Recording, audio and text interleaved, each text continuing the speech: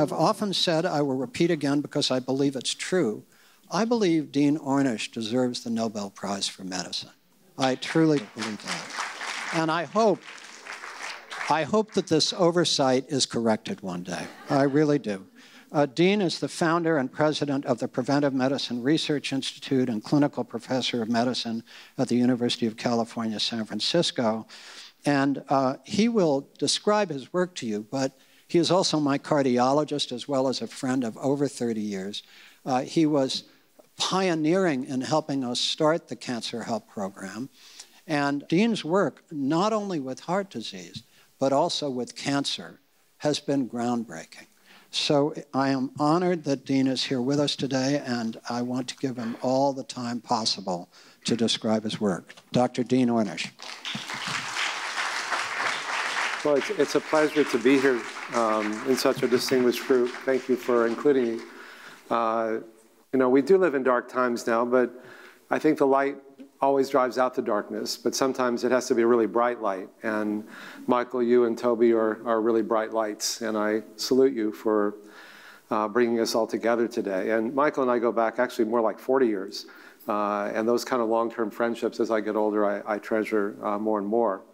And Toby, uh, I went to the very first Simonton Cancer Conferences, and they were pioneering, and they, besides the information, just bringing together people who were working in areas that were marginalized at the time and finding that, oh, you know, I really drew strength from that. And so I just want to acknowledge you and honor you for that as well. And so it feels especially fitting to come full circle today to be here.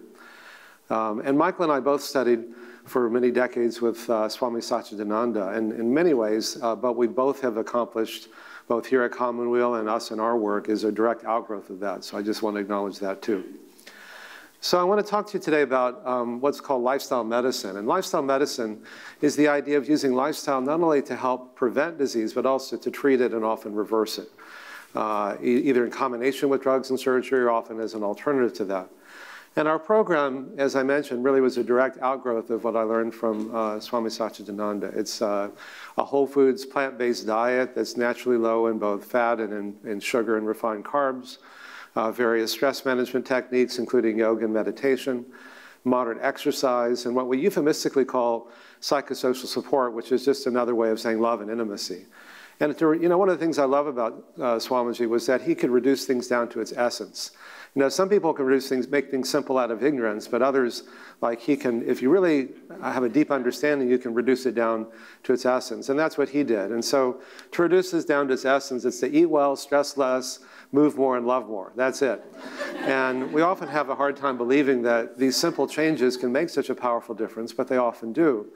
And so our work has been for the last 40 years, and it really has been 40 years. It's hard to believe. I did my first study in 1977 uh, is to use these very high-tech, expensive, state-of-the-art scientific measures to prove the power of these very simple and low-tech and low-cost interventions. So I'm going to go through with you the research that we've done to show how powerful these techniques are, but to put them in a larger context of, of, of what, in my limited understanding, where healing comes from, both uh, individual and social healing, and then to see where we go from there.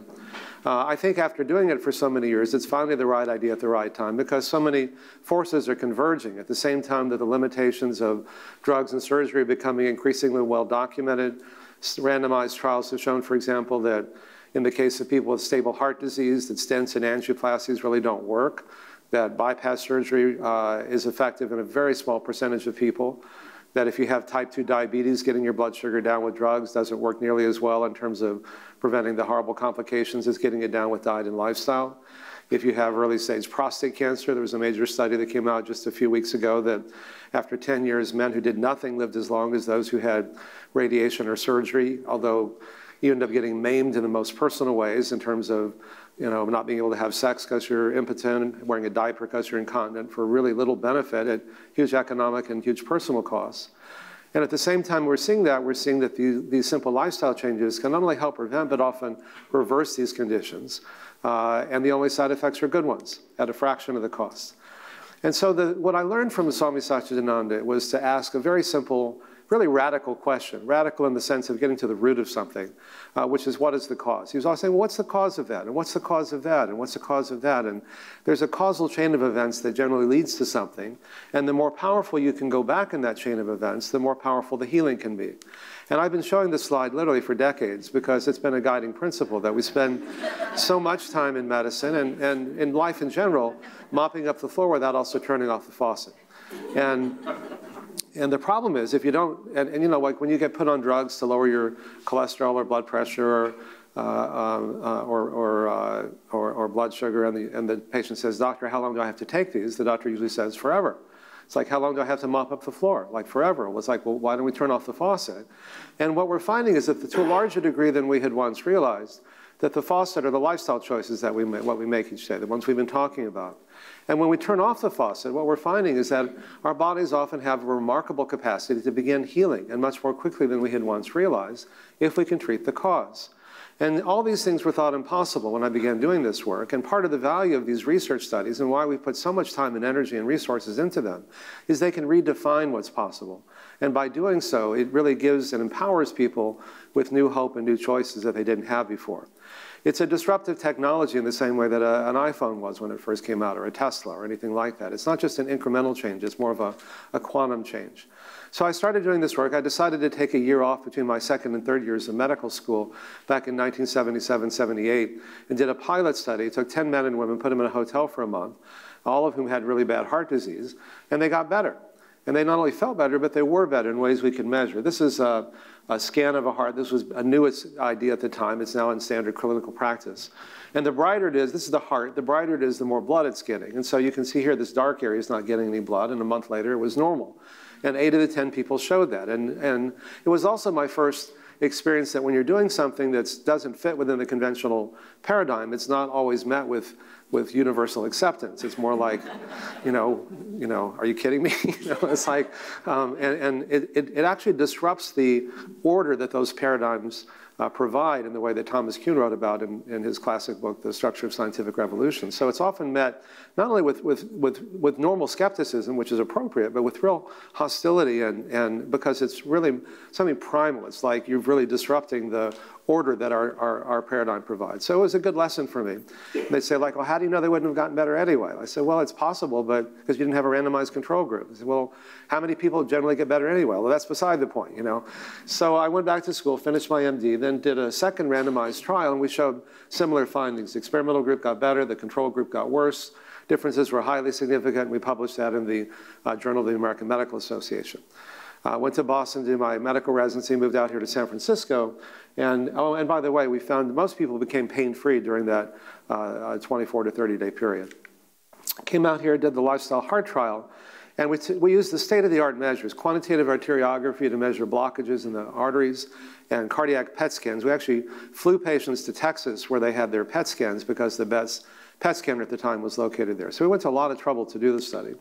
And all these were blindly assessed by independent observers. And we found that the amount of blockage got worse after one year and even worse after five years in the randomized control group. That's what usually happens, is you get worse and worse. But instead of getting worse and worse, they showed some, the people who made these lifestyle changes, some reversal after one year and even more after five years. And we published the one-year findings in The Lancet and the five-year findings in the Journal of the American Medical Association. We found that there was a 400% improvement in blood flow to the heart in these patients as measured by PET scans compared to the control group. So these are not subtle differences. And this is a representative patient. You can see the blockage here is less clogged after a year. And because the blood flow is the fourth power function of the blockage, uh, the perfusion shown here in PET scans, blue and black is no blood flow at the beginning, orange and white is maximal blood flow a year later. And this is not best case, this is really representative of the kinds of changes that we see. And it's to show that 99% of the patients stopped to reverse the progression of their heart disease, whereas only 5% of the control group patients got better. And one of the interesting findings that we found that surprised me, because I, I had thought that the younger patients who had less severe disease would do better, but I was wrong. It wasn't how older they were, it wasn't how sick they were, it was simply a function of the degree of lifestyle change they made. The more they changed, the more they improved at any age, which is a really great message to give people. It's basically doesn't matter how old you are, to the degree you make these changes, you're likely to get better. And there were two and a half times fewer what are called cardiac events, heart attacks, strokes, bypasses, stents, et cetera, in the group that made these changes. Now, to put a human face on this, and it's especially poignant because the last time I was in this room was for uh, uh, Lenore Leffer's uh, memorial service. And Mel Leffer, her husband, was one of the original participants in this study. And there was a documentary uh, 25 years, excuse me, three or four years ago that called Escape Fire that included a segment uh, on our work, and Mel was one of the people that was interviewed. So this is just a minute and a half long. I just want to show you the human aspects of this. 25 years ago, I had five restaurants in San Francisco. It was a great life. I smoked six cigars a day, uh, 10 cups of coffee, a lot of wine. It was wonderful and I had a massive heart attack.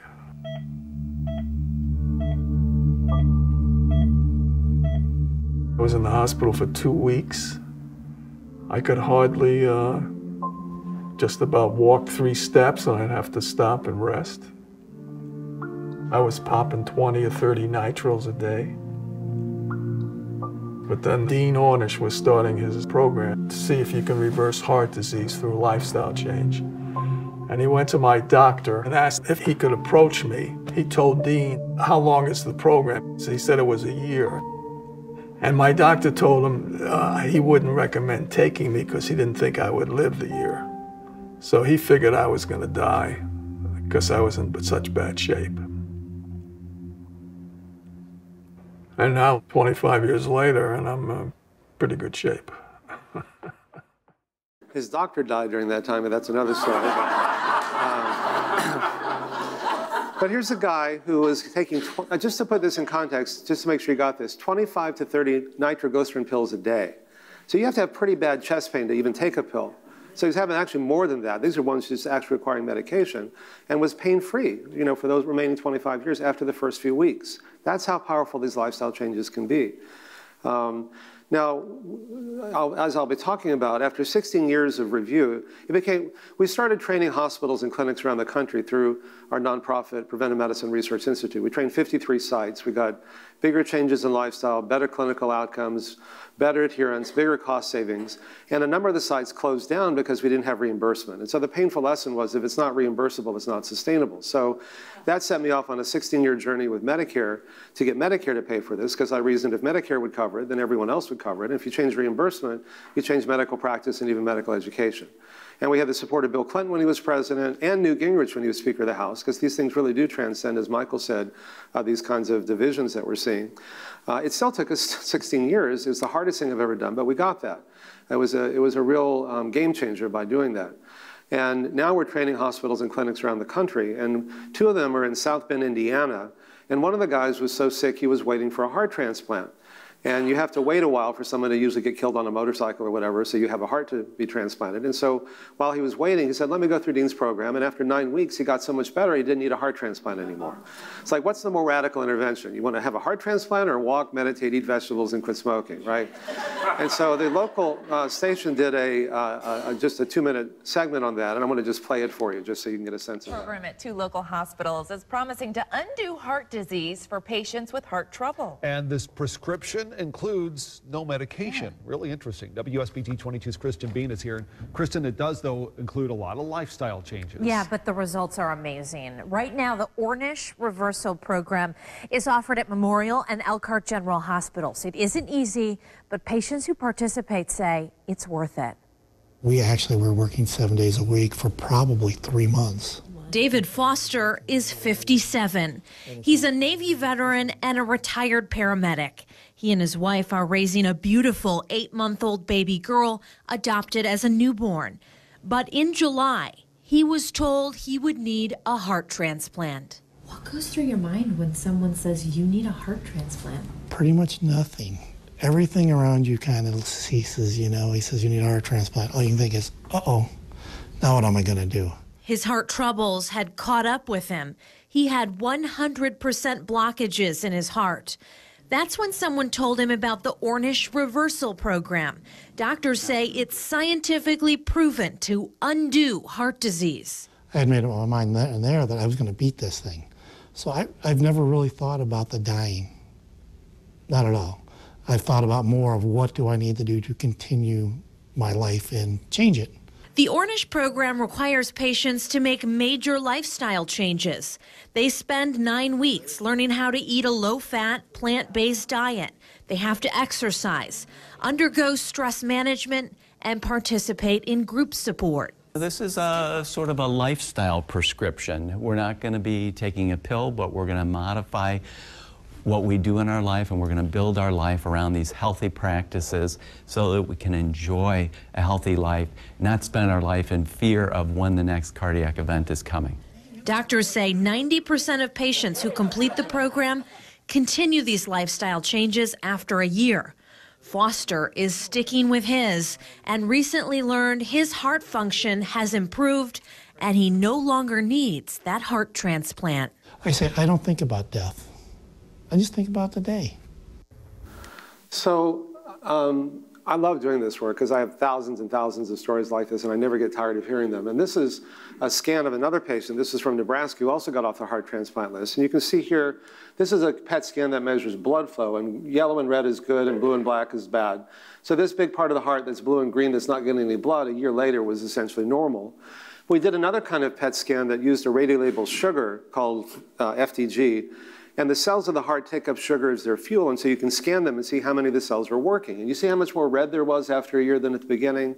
That means a lot of the heart muscle that looked like it was infarcted or dead was in, in fact stunned or hibernating, in effect woke up and began to work again. So his ejection fraction, his ability of his heart to pump blood, improved dramatically. So there's a real physiological basis for it. We then looked at prostate cancer, and I know this is a, a, Michael asked me to spend more time on cancer, so I want to do that. And we did a study with Bill Fair, the, who was at the time the chair of urology at Memorial Sloan Kettering Cancer Center, and Peter Carroll, who was and still is the chair of urology here at UCSF. When you're doing disruptive work, it's great to be able to work with the top people in the field because then it has more credibility, it's easier to get it published, and so on. And we took men who had biopsy proven prostate cancer, pardon me, who had decided for reasons unrelated to the study not to be tr treated conventionally with surgery or radiation. So then we could then randomly divide them into two groups and have a group as a comparison group or randomized control group that wasn't getting conventional treatment. You can't really do that with most forms of cancer. So we could look at the effects of lifestyle changes alone.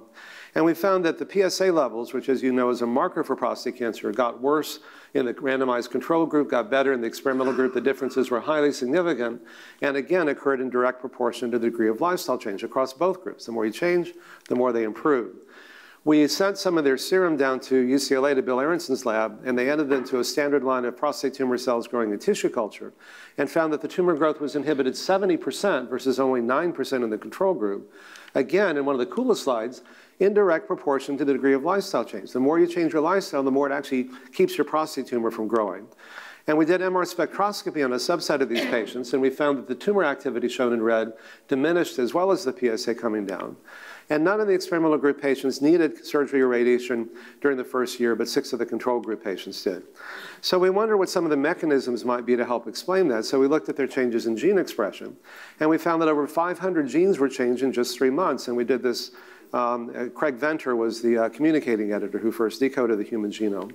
And we particularly found we could downregulate what are called the oncogenes that promote prostate, breast, and colon cancer within three months. You know, again, how dynamic these mechanisms are. And you can see here, red is turned on at the beginning, green after three months. These are all different genes that cause cancer. How powerful and how dramatic and how dynamic these mechanisms are. How quickly you can show improvement. And so often I hear people say, oh, I've just got bad genes, what can I do? Well, it turns out you can do a lot. Again, not to blame, but to empower. Because if, if it's all in your genes, what can you do? Uh, when I began, I, I, began working with President Clinton back in 1993, but seven years ago when his bypasses clogged up, I saw this uh, press conference that his cardiologist said, oh, it was all in his genes and his diet and lifestyle had nothing to do with it. And I, I, I knew better because I've been working with him for so long. And I sent him an email and I said, you know, it had everything to do with it, not to blame, but to empower. Because if, you're, if it's all in your genes, you're, you're just a victim, and you're not a victim. You're the most powerful guys on the planet. So we met, and he began going on this program. He's been following it really strictly now for the last seven years and doing well. So knowing that our genes are not our fate is actually a very empowering realization.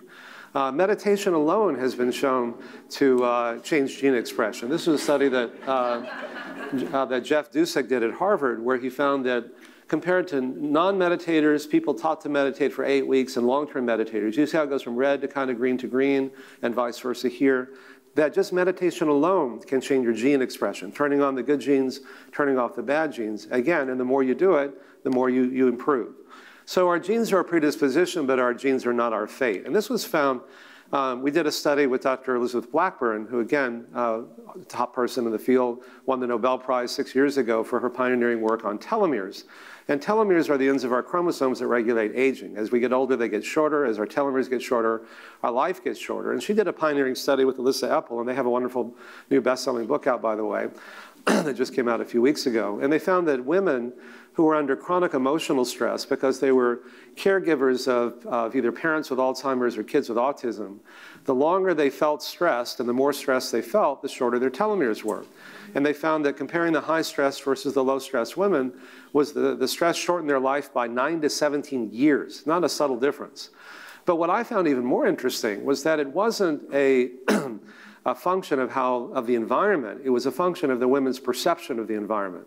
In other words, you could have two women who are in very similar life situations, and one was coping with it, and it didn't affect them as much. So even when we can't change our environment, we can change how we react to it through using these same kinds of techniques. So it's the perception of stress. If you feel stressed, you are stressed. So we did a study uh, with Dr. Blackburn, and we found that after only three months, the enzyme, the telomerase, uh, increased by 30%. And after five years, we found that we could actually lengthen telomeres compared, uh, they got 10% longer in the group that went through our program compared to getting shorter, which is what usually happens in the control group, by about 10%.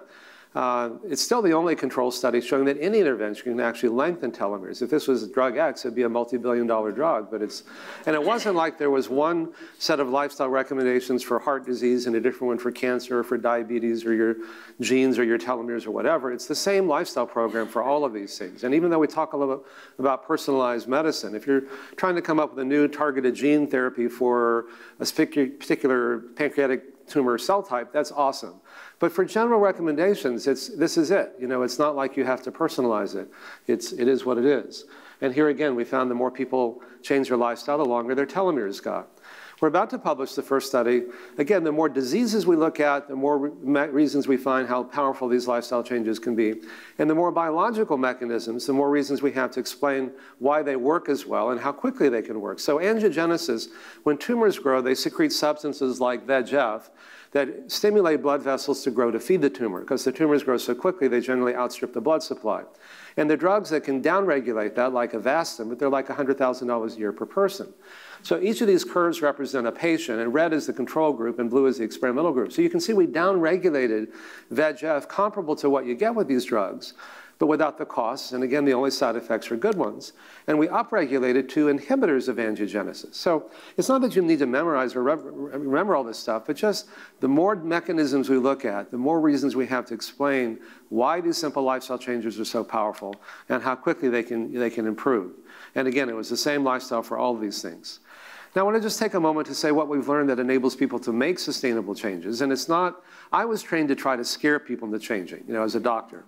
Uh, and this has political overtones too, so I'm just going to start with that fear is not a, a sustainable motivator in, in, any aspect of life, and, but particularly if you're trying to change someone's lifestyle. It's great for a month or two. You know, if you've had a heart attack, you do pretty much anything your doctor or nurse says for like a month or two, and then you stop doing it because Fear is not a sustainable motivator.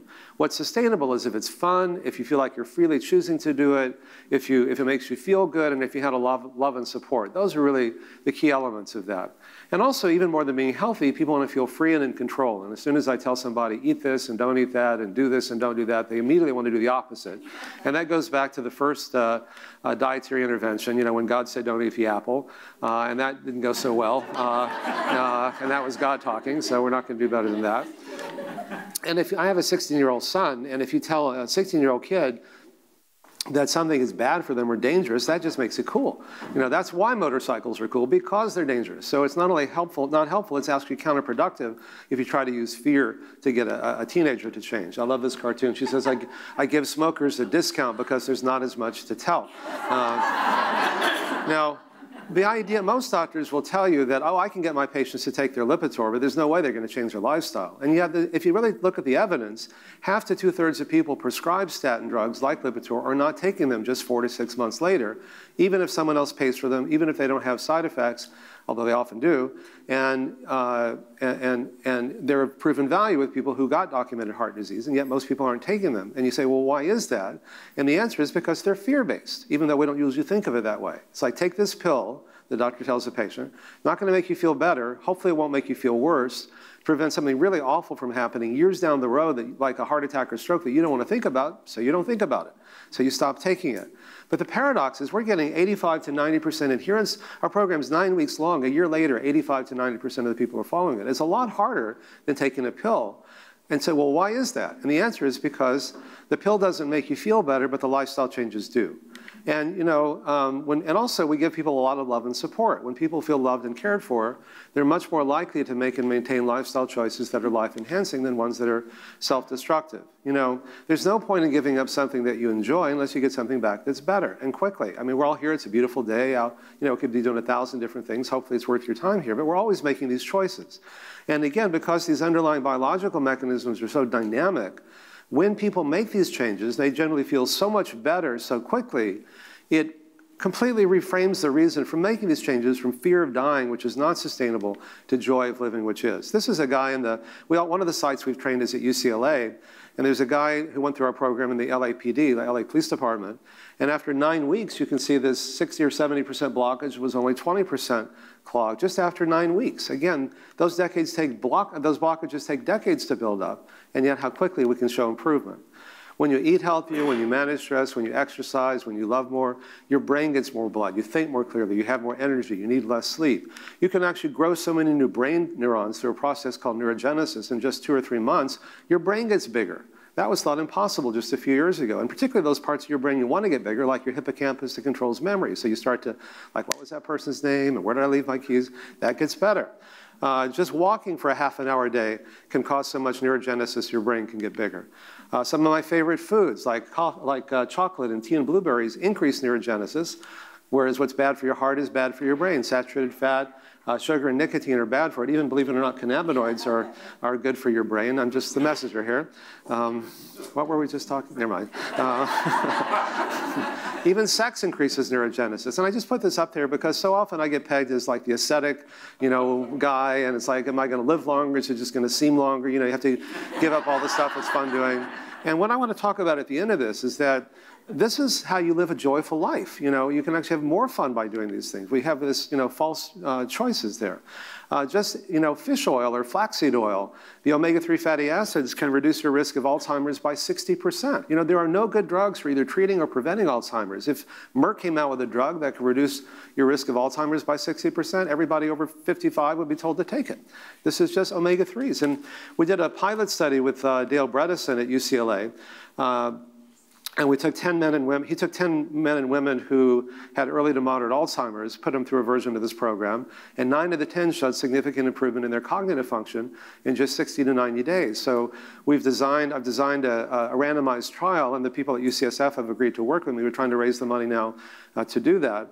But I'm sure that we can show for the first time that these same lifestyle changes can actually reverse the cognitive decline and reverse the progression of early stage Alzheimer's disease, which is kind of a cool thing, especially as our population gets older.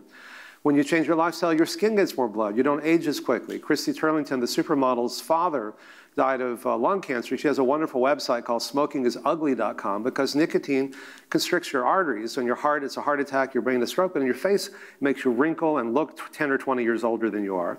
And the Department of Health Services had these wonderful billboards because it turns out it also constricts your, the blood to your sexual organs. It's the anti-Viagra. And so they came up with these billboards like this. Um, it doesn't say, heart attack, lung cancer, emphysema. Those are the fear-based approach. Because if you tell somebody smoking is dangerous, as I mentioned, that makes it cool. If you say it makes you ugly and impotent, that's not cool, and that's much more uh, sustainable. Our diet was rated number one for heart health every year, that, uh, including a few weeks ago that U.S. News has been doing that, which is just a nice uh, validation. And there are other things beyond just the personal I want to focus on here, that what's good for you is good for the planet. You know, what's personally sustainable is globally sustainable. And it's so easy to, you know, feel overwhelmed, like, what can I do? I was in Davos at the World Economic Forum uh, with my wife Ann last week, and we did a two, three hour workshops on our work. I mean, that wouldn't have happened 10 years ago. Things are really, with all the darkness, it's really important to focus on the good things that are happening too. And one of the things, uh, you know, Davos is all about globalization, and I came up with this term globalization of illness, that, you know, we're starting to, other countries are starting to eat like us and live like us and now die like us. And in one generation, countries like China, and in fact, most of the world, has gone from the lowest rates to the highest rates of heart disease and diabetes, and it's completely preventable. Um, and more people are dying today of heart disease and diabetes throughout the world than AIDS, TB, and malaria combined. And it's diverting a lot of precious resources away from things that really do require drugs, like AIDS, TB, and malaria, to things that can be largely prevented or reversed by changing lifestyle. And again, what's good for you is good for the planet.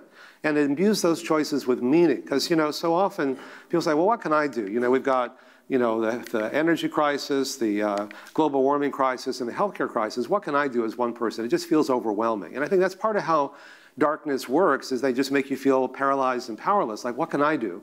Well, you, just something as primal as what you put in your mouth every day actually makes a difference because it turns out that 20% of the energy that we uh, burn every year, the fossil fuels, is to process food to make it unhealthy. so when you stop buying those foods, then they'll stop making them. Pardon me. And it takes 10 times more energy to eat a meat-based diet than a plant-based diet. There's enough food, Swami Satchidananda used to always say, there's enough food to feed everybody. If, if just, if people, not that everybody needs to be vegan, but if you just had a meatless Monday, you suddenly realize, oh, well, I'm helping myself because I'm not eating a lot of junk, but I'm also freeing up resources that uh, can, can feed hungry people if I do this on a regular basis. And it's not only good for you, it's good for the planet. It turns out that more global warming is caused by livestock consumption than all forms of transportation combined. I used to get into discussions with Al Gore about this. I said, it's great to drive a small car, but you know, what you eat is really important. And uh, two years ago, he became a vegan, even though he's a cattle rancher. Again, a great example, a great light in the darkness, if you will. From a health crisis, 86% uh, of the $3 trillion that we spend every year on healthcare goes for uh, chronic diseases, which are largely preventable or, or even reversible uh, through changing lifestyle. That would free up a huge amount of resources. This is one of many studies. Just walking a half an hour a day, not smoking, eating a reasonably healthy diet, and keeping a healthy weight prevented 93% of diabetes. Already heart, I mean, um, half of the American population today is diabetic or pre-diabetic. It's completely preventable. And this is an under, understatement, you know. I'd say like at least 98 to 99% of diabetes, 98 to 90% of heart disease is preventable today, knowing what we know now. We just need to put these things into practice. And it's not all or nothing. The more you change, the more you improve at any age. So if you're trying to reverse conditions, that's the pound of cure. You really need to make big changes. But otherwise, it's a spectrum of choices. And so part of what I've learned is that um, as soon as you call, I mean, the whole language of behavioral change has this kind of moralistic, judgmental quality. You know, I can't go out to dinner without someone either apologizing for what they're eating or commenting what I'm eating. You know, it's like I say, you know, you're forgiven. It's not, not the food police. But, you know, I cheated on my diet. Once you call foods good or bad, it's a very small step to saying I'm a bad person because I eat bad food and then might as well just eat whatever you want because, you know, you're a bad person, right? Um, and so, and then you have all that shame and guilt and anger and humiliation. And diets, you know, if you go on a diet, sooner or later you're going to go off it because diets are all about what you can't have and what you must do. And people don't like to feel controlled. And then when you go off it, then you feel like you failed and you have all that shame and guilt and anger and humiliation, which really are bad for you. So instead of doing that, I, and I, I shared Google Health with Marissa Mayer uh, 10 years ago, and we were trying to come up with all these algorithms to personalize the diet. And I said, look, let's make it really simple. Instead of me telling people what they should do, let them tell me what they want to do.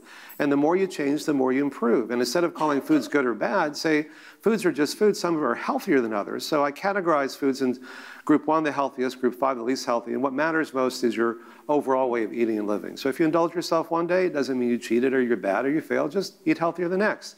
You don't have time to exercise one day, do a little more the next. You don't have time to meditate for an hour, do it for a minute. Whatever you have, there's a corresponding benefit. And then we'll track it. And if that degree is enough to accomplish your goals, great. If not, you can do more. It's just really radically simple in that way. Um, we've done three demonstration projects looking at the cost savings. The first was with Mutual of Omaha. We found most people were able to avoid uh, stents or angioplasties or bypass surgery, and they saved almost $30,000 per patient in the first year.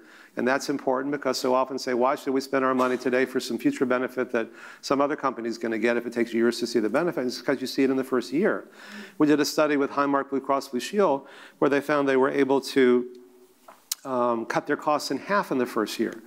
Uh, and but when they looked at the number of patients that uh, uh, that they'd spend at least $25,000 on in the preceding year, they cut their costs by 400 percent.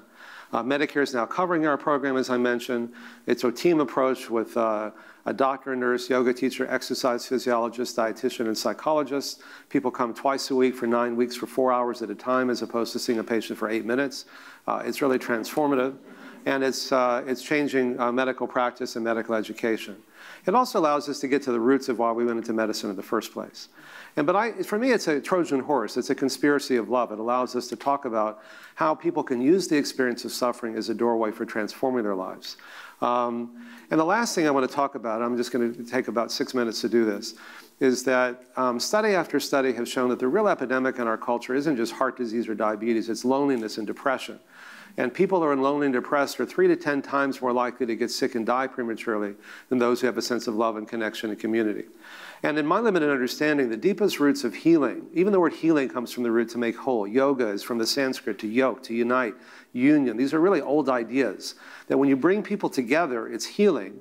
When you separate them, it creates illness and suffering, whether it's on a personal level or as we're seeing now on a social level. And clearly, information is not enough. If it were, nobody would smoke. It's not like people don't know any better. So, but you have to say, why do you smoke? And people say things to me like, I've got 20 friends in this pack of cigarettes, and they're always there for me, and nobody else is. You're going to take away my 20 friends? Or food fills that void, or fat coats my nerves and numbs the pain, or alcohol, other drugs numb the pain, or working all the time numbs the pain, or video games, whatever. So we can't just focus on the behavior or the information. We have to look at the, the deeper levels, which are really spiritual levels. Uh, six months after heart attack, those that were depressed were four times more likely to be dead than those who weren't, independent of their cholesterol, blood pressure, smoking, and other factors like that. When you're depressed, your immune system is depressed in all the ways we can measure.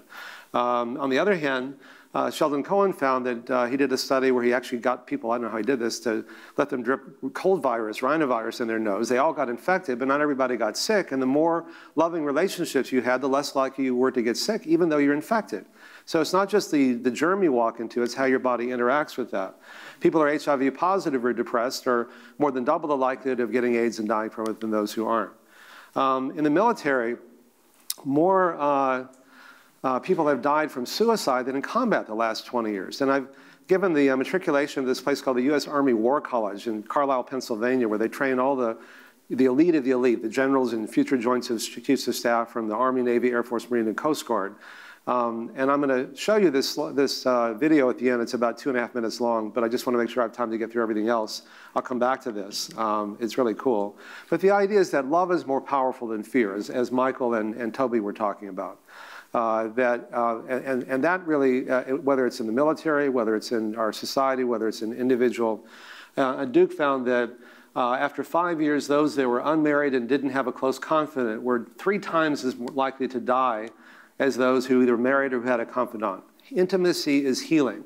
We've trained the St. Vincent Paul homeless shelter in our program. Over 30,000 homeless people have gone through it. So this idea this is just for affluent, educated people is not true. Uh, Nicholas Christakis at Harvard found that we are so interconnected that if your friends are obese, you're 45% more likely to be. If it's your friend's friend, it's 25%. And if it's your friend's friend's friend, you're 10% more likely to be obese, even if you've never met them. That's how interconnected we are. And it's not just heart disease, it's pretty much everything, including depression. So we harness that interconnectedness, that intimacy. David Spiegel did a classic study, which uh, one of the Simon conferences was based on years ago, that women with metastatic breast cancer who had a loving support group once a week for a year, five years later live twice as long. You know, and, and somebody might say, oh, give me a break. You mean talking about my feelings is going to help me live longer if I've got cancer? Please. But they do. That's what the data show. We are touchy-feely creatures. We are creatures of community, and we can harness that. And anything that intimacy is healing, but you can only be intimate to the degree you can open your heart and be vulnerable. And you can only do that to the degree you're trusting. And so when you can be in an environment, which we do at, at, our work and what Michael has been doing at Commonweal and the Cancer Help Groups, to create a safe environment, it becomes sacred. To talk about just let your emotional defenses down and just be open and authentic is powerfully, transformatively healing. Uh, I'm just going to skip through um, and to me, real spiritual teachers are the ones who teach that. They, it's, they, they know how to live a joyful life. You know, Swami Satchidananda had a lot of fun. You know, he was always, you know, enjoying himself. And it was a great example. The, the Dalai Lama, you know, uh, says, my religion is happiness. Or, you know, be kind whenever possible. It's always possible. The point is, is that to me, these spiritual traditions teach us how to live a joyful life. It's not just how to live longer. You know, the ancient swamis and rabbis and priests and monks and nuns didn't do these things to unclog their arteries or make their tumors shrink. It was this is how you live a joyful, fun life. And, and that's what I want to keep coming back to. This is a study that the one emotion that's super toxic if you've got in heart disease is chronic hostility. All this other stuff is really not nearly as important. Uh, there was this Twitter study of millions of Twitter feeds. They found not to mention our president's Twitter feeds, um, that especially anger is the, are the ones that are the most uh, toxic. If you say, I feel deprived because I can't eat everything I want, that's not sustainable. If you say, I'm choosing not to eat certain foods so that I can live longer to dance with my you know, daughter at their wedding or watch my kids grow up or whatever it happens to be, if you imbue those choices with meaning, then they're, they're, they're powerful. And choosing not to do something that you could otherwise do imbues those choices with meaning. It completely reframes them from feeling deprived. You know, um, Ramakrishna was uh, uh, uh, an ancient saint 100 years ago who was talking about choosing a guru, but it can be like choosing a life partner. You can dig a lot of shallow wells and never reach water. You could just commit to one and you reach the wellspring. Being a committed monogamous relationship, is that the, the ball and chain, or is that, okay, I'm choosing to be with this one person so I can create this, this crucible of sacred safety so that we can progressively open our hearts to each other. And the more intimate you are, the more erotic it becomes and the more fun it becomes. And so instead of having the same kind of experience with a lot of different people, it's like having these infinitely variable experiences with the same person.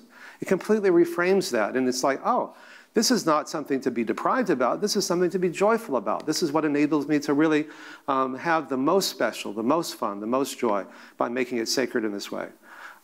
Anyway, I'm, I'm almost done. So um, it, it's, it's you know, asking people, why do you want to live longer? And if you can tap into that, it's healing because it's not just how long. You know, when I was depressed, I could take all the meaning out of everything. That's how I got interested in this when I was in college. But I learned that I can also imbue those choices with meaning and then that makes them sustainable because if it's meaningful, it's sustainable. And, and intimacy is healing. And if it's pleasurable, it's sustainable. And to have that double vision, which uh, Swami Satchidananda talked about, that on one level we're separate, on another level we're part of something larger that connects us all. And on the other hand, you know, as Michael said, once you, and, and Toby, once you define someone as being different than you, then they're the other, then you can do bad things to them. Those Mexican rapists, those Muslims, those whatever.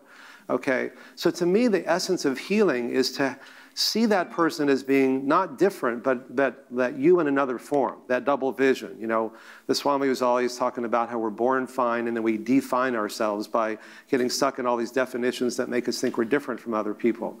And that all these, what Aldous Huxley called the perennial philosophy of altruism, compassion, forgiveness, and love, really come from that direct experience of interconnectedness. And that's what frees us. Uh, I'm just going to skip, sorry. And uh, it's my uh, little girl, just the, the, the, spirit of joy that these kinds of things bring. And that we can help people, you know, as Rachel Remen would say if she were here, uh, to use our suffering our, as doorways or as windows to transforming our lives in ways that go beyond uh, just, you know, the physical, but to the, the, the psychosocial, the emotional, and spiritual. Now, I know i have used up all my time. I, I, have this two minute video. If you want me to play it, I can. I, I think it's worth it. Uh, this is from, uh, is that okay? I am sorry for, yes. I'm generally pretty, pretty compulsive about time, but I just got a little carried away here. Um, is that um, there's a guy named, uh, he's a four star admiral, Eric Olson, and he's a guy's guy. You know, he's uh, in charge of uh, all the special forces worldwide, you know, the Navy SEALs, the Army Rangers, Green Berets, Delta Force, et cetera. And I, I figure if I went to the Army War College and I talked about you know, the power of love at the Army War College, which has a bit of a Dr. Strangelove quality to it anyway, um, they'd say, oh, you know, you're the Wuss California doctor, what do you know? But I figure if he did it, it would really change things. And so uh, he made this beautiful video that, um, uh, in which he talks about uh, the power of love that I showed at the Army War College. And let me just uh, play it for you now. Hey, greetings to all of you at Carlisle. I'm Eric Olson. Thank you, Dean, for allowing me to be with you, albeit from a distance. I got to say, Dean, you're the first guy who ever asked me to talk about love. And I got to say that the more I thought about it, the more I was struck by the importance of discussing it, particularly in a military context where it doesn't get talked about often enough. I'm here to say that I believe that love is an under acknowledged emotion and a force as it relates to military service members and especially soldiers at war. but it is certainly a force that drives much individual behavior, and intensely so, in moments of victory or defeat, life or death. Most of us will readily admit to loving many people and things in our lives. Who and what we love is a big part of who we are. But few of us are ready to talk about love as a defining element of ourselves when we are under pressure, when emotions are raw and character can't be faked. Instead, we use other words. We talk about bonding, about the brotherhood or sisterhood of arms, or the glue that holds a small unit together when things look very bad. But when everything is on the line, when decisions and actions come more from the heart and gut than from the brain, based on instinct, character, and emotion, the power of love dominates. It crushes caution and fear. Love of purpose and of the opportunity to do what you have trained so hard to do, love for the people you depend on and who depend on you matter the most. I'm not recommending that you go around talking about how much you love each other. I'm only suggesting that we individually recognize that love is a powerful motivator and one that we should let roam freely inside each of us. I wish all of you great success. Again, Dean, thank you for allowing me to be with you. And beautiful, the power of love dominated, crushes caution and fear. And so I just want to end by saying that what Michael and Toby have brought us here together and over the last 40 years, what their respective works have done is to really shine a bright light in the darkness. And love, the light always drives out the darkness, but it has to be a bright light. And I know all of you here are bright lights. And now uh, it's our time to really shine brightly. So thank you for the chance to be here today. Wow. Dean has given us so much. Dean, thank you so much for this. Um, you'll all remember different things from that very compact uh, and full talk, but uh, I just want to point out a few things. One is that while Dean's study was of prostate cancer, uh, his there were slides in there that talked about colon, prostate, and breast cancer. All right, and so just think about that if you're in the cancer world, and more broadly, because it relates to so many other conditions. Um, just reflect on what we've heard about the power of eating well, moving well, stressing less, loving well. Four simple, simple things that are at the heart of the Cancer Help Program, the heart of Dean's work, and uh, the heart of a great deal of the work that we all do. Um, the other, a couple of other things I just want to pick up from this, that telomeres can actually lengthen, that brain function can actually improve, that no matter what age you are, it depends on how intensively you do this as opposed to your age. And above all, that the perception of stress is more important than the stress itself. That two people in similar situations with different perceptions, and just think about what that means. You know? Just think about what that means. And finally, on the power of love and intimacy. You know, many of us, when we hear about that, think that that means uh, an erotic partner. But I just want to say to you all that, uh, and I know Dean feels this too, that the power of friendship is equally great. That in, in ancient traditions, that friendship was actually the deepest form of love. And so, um, if some of you are feeling that you don't have that intimate partner in the sense of a husband or wife or erotic partner, I just think recognizing that the power of friendship is, is unbelievably powerful. It can also be for community, for the spiritual, for anything that takes us out of our isolation.